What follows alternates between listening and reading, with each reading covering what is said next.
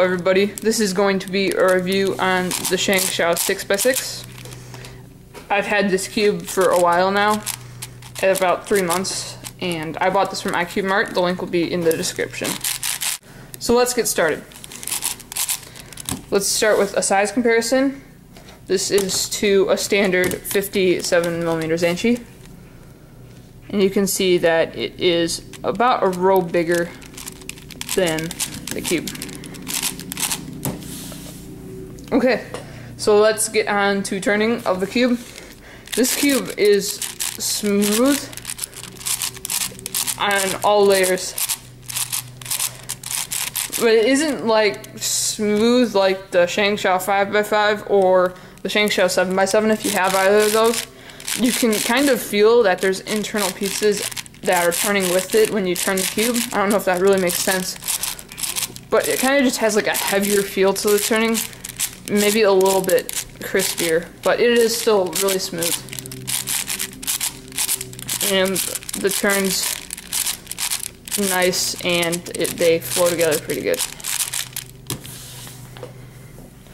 So, corner cutting of this cube is pretty good. It's nothing spectacular. It, let's try line to line.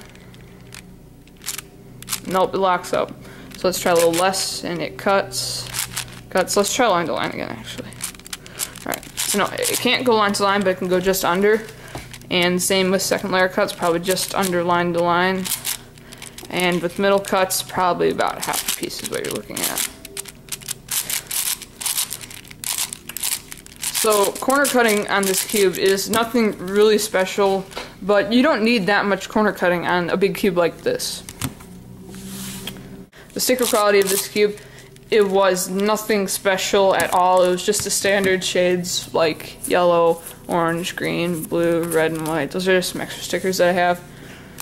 So they chipped a lot, and but they were placed pretty good. So I decided to place them, replace them with CubeSmith Half Bright plus Bright Blue, and it really looks nice. So let's get on to pieces of this cube. I'll take it apart a little bit.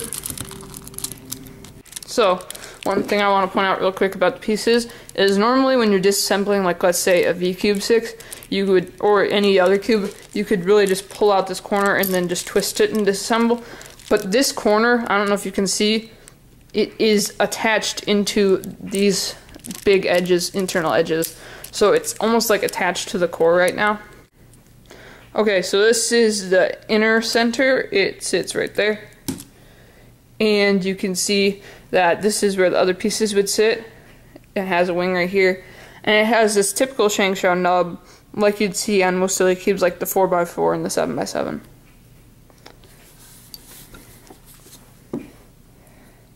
And here are these other like oblique edge pieces that would sit right here. And you can see that it has this little flare on the end. Now, these also have a mirror piece to it, so basically this just is on the other side, and then this ridge is on the other side. And this is the outer corner centerpiece. You can see that it kind of looks like the ShengShou 7x7 and 5x5. Okay, now I have the cube assembled again, and let's get on with the review. Pops and lockups of this cube, they are bad. If you try and corner cut too much, they'll either pop or you'll get one of those nasty ShengShou type lockups where it gets all messed up in the front and the back and kind of just have to push back to place. And usually what pops are these two pieces. It can either be this one, this one, or both at the same time.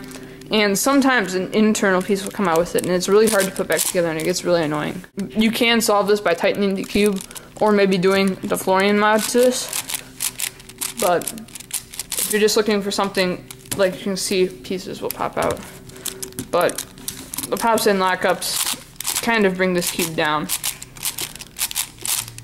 I wouldn't really say that the 6x6 is amazing, but if you're looking at it compared to like a stock V-Cube 6, this is definitely better. And I would say that's probably the best 6x6 on the market because there's only really two or three and they're all terrible. But I'd say that this one is good. So overall, I would recommend this cube if you're looking for a good 6x6 without having time to oh, having time to like super mod it. It is pretty good. It turns smooth, but it does pop and lock up a little bit. The performance is great other than the pops and lockups, and I think it really brings this cube down. If they were to make like a version 2 of this cube that didn't pop, it would be amazing. But that's it for this review. Thanks for watching, and I'll see you on my next video.